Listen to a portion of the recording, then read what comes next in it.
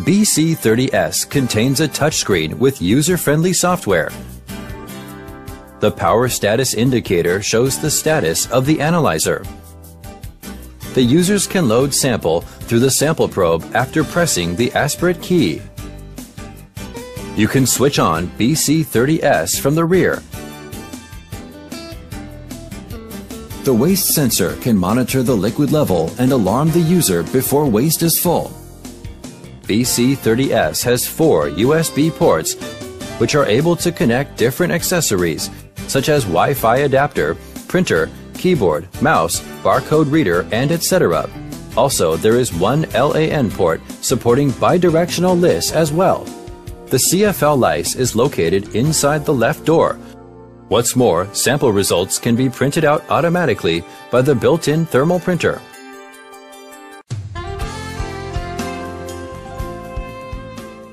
Please use clean EDTAK2 or EDTAK3 anticoagulant collection tubes to collect venous blood samples, and be sure to collect at least 120 microliters of blood every time.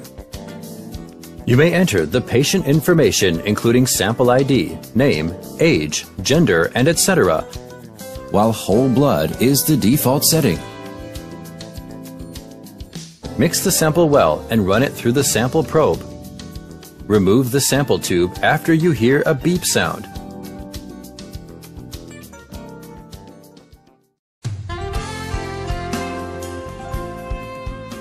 Please use clean centrifugal tubes to collect capillary blood samples and be sure to collect at least 120 microliters of capillary blood every time. After mixing the capillary sample, be sure to wait for at least 5 minutes before analysis and you must complete the analysis within 2 hours after sample collection. You may enter the patient information including sample ID, name, age, gender, and etc., while whole blood is the default setting. Tap the bottom of the tube at least 8 times to mix the sample well and run it through the sample probe. To prevent blood blockage, please don't push the tube too close to the bottom of the probe. Remove the sample tube after you hear a beep sound.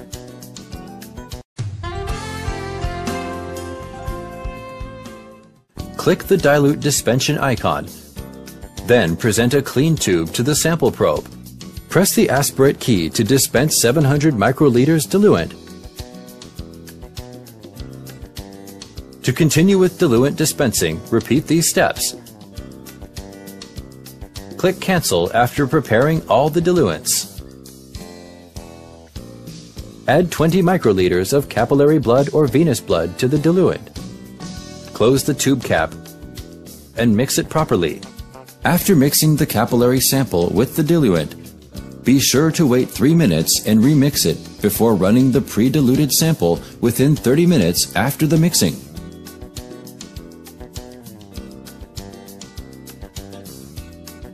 You may enter the sample information including sample ID, name, age, gender, and etc. And click Mode. Change it to be pre-dilute mode accordingly. Mix the pre-diluted sample well and run it through the sample probe. Remove the sample tube after you hear a beep sound.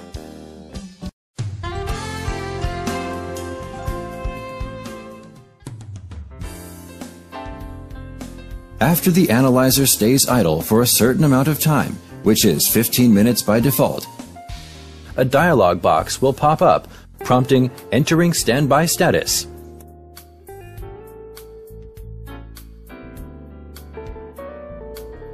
You may exit the standby status by pressing the aspirate key or tapping on the screen.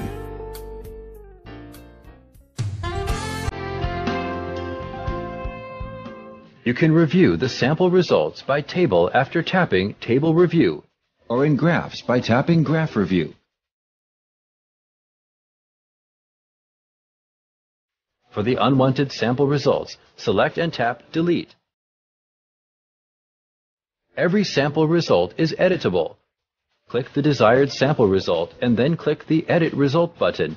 Modify the results and tap OK to save the changes. Select sample records to be printed, and then tap Print to print out.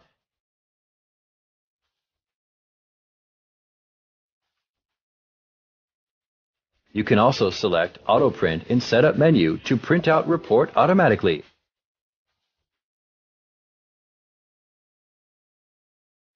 If you would like to further analyze some sample results, tap Export after inserting a flash disk.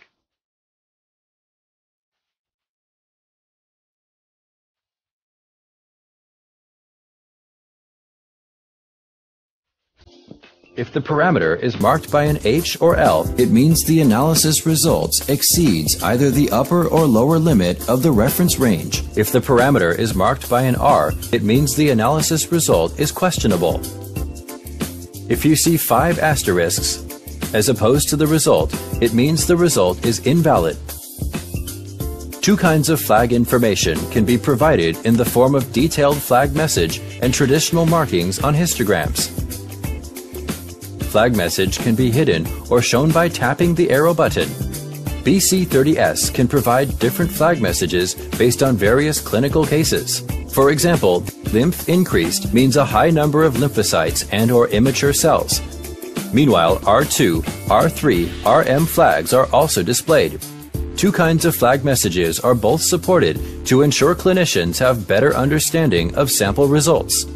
The RBC distribution abnormal and erythrocytosis flag represent either signs of abnormal RBC present or sample has a high number of RBC. The thrombopenia stands for the low PLT count and PLT distribution abnormal means possible presence of microcytosis, RBC debris, large platelet, and platelet coagulation.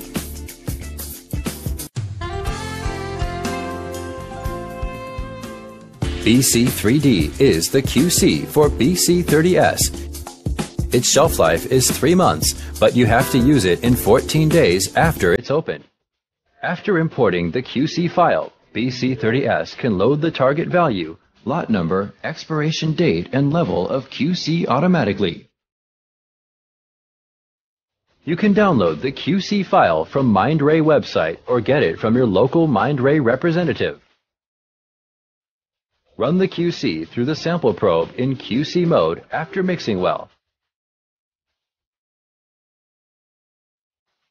You may review the QC results in the LJ-QC graph to see if they are within range.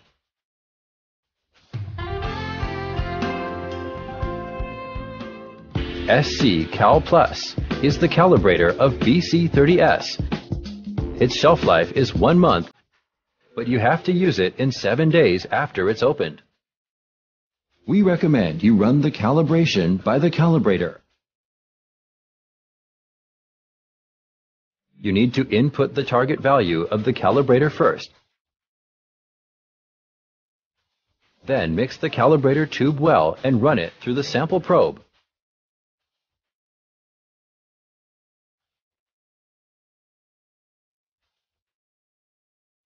After running the calibrator 5 to 10 times, you may get the new calibration factor.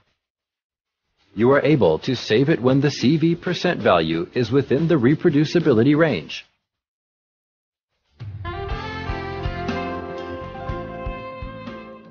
You can see the residual volume of reagents on the software screen. BC30S will show an alarm when the reagent has run out. You may enter reagent information manually or enter the barcode by scanning. If the barcode is valid, the corresponding reagent information will automatically display.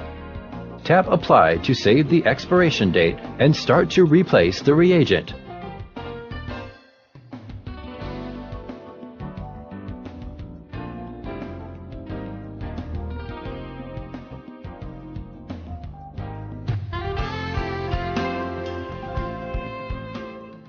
Click the Shutdown button and select OK.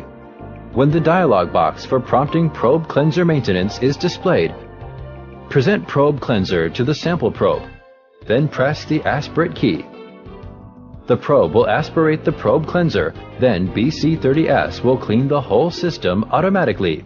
After shutdown finishes, the message, please turn off the power of the analyzer will be displayed. Press the power switch on the back of the instrument to power off if you would like to keep BC30S turned on constantly every day, you need to set up the time-based daily maintenance. BC30S will prompt a reminder for a probe cleanser maintenance when needed. It has the same effect as shutdown maintenance.